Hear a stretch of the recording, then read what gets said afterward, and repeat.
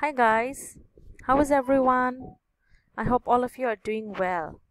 So today will be the last um, topic for this week. Okay, we will be doing No Ordinary Soldier once again, and today our topic is theme of the story. So we are going to see how the events in the story help us to come to know the theme of the story. So let's get started. Now, the first event that I would like to talk about today, okay, is the one where Sanjay Singh sees that one of the guards were trying hard to keep awake, so he tells him to go and sleep and takes over the post. Suddenly, he too dozes off, but su a sudden noise awakens him. He sees that Jung Bahadur has fallen off his chair. When putting him back, he sees a light which later turns out to be enemy soldiers crossing the border. So this is our first main event in the story and through this main event we come to know that Jung Bahadur is a lucky doll, right?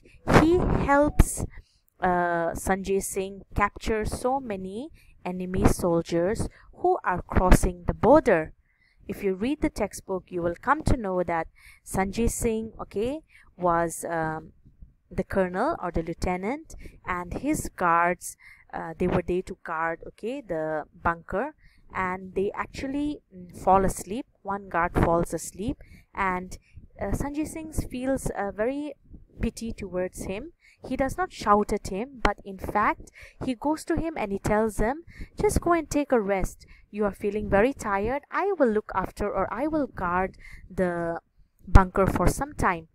But he too falls asleep okay? But just before he takes over he puts sanjay say uh, he puts uh, jung bahadur okay on the chair in front of him and uh, he uh, looks out okay over the bunker to see if everything is all right. Now it's the middle of the night. He's also equally tired so he tends he dozes off to sleep. Now suddenly jung bahadur falls down and uh, sanjay singh is awakened by the noise of jung bahadur falling down. As soon as he opens his eyes he sees some light and when he raises an alarm and he tells the soldiers go and check what's happening they capture a lot of enemy soldiers. So over here you see that in the main event Jung Bahadur is the one actually who awakens uh, Sanjay Singh. And he uh, catches a lot of thieves okay? Or robbers or soldiers who are crossing the border. Now let's look at the second event the second event is also a very similar one where Jung Bahadur again takes all the limelight. The soldiers were moving to a new post okay and suddenly Jung uh, suddenly Sanjay Singh realizes that he has left Jung Bahadur behind. He feels very sad because Jung Bahadur is a doll that has been given to him by his daughter. So he goes back for it. Now later on when they're coming back they hear a big uh, boom they come to know that the bridge on which they were supposed to cross has um, blasted. That means there was a bomb ready waiting for them. So if they had crossed the bridge they would all be dead now. So again saves their life too. So you can see how Jung Bahadur is a very lucky doll. Now my question to you is was Jung Bahadur a magical doll? Do you think he was a magical doll? If you believe in magic that is now, I do not think Jung Bahadur was a magical doll. Okay, it was just that Gita gave him to her dad.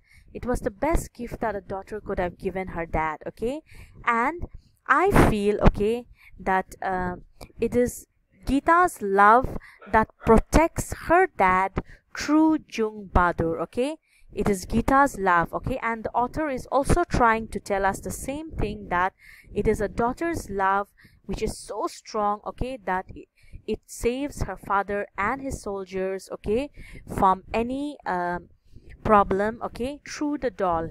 So it's not that Jung Bahadur is magical. It's just that Gita's love for her dad is so strong that uh, her love comes through the doll to the father and to the soldiers. Clear okay so this is actually your theme of the story that a daughter's love okay can protect her dad or a daughter's love is so strong that it can save her dad from any problem. Clear? So that's all for today. In case you have any doubts feel free to give me a call or message me and i'll try to clear your doubts. So goodbye. Have a fantastic day and happy learning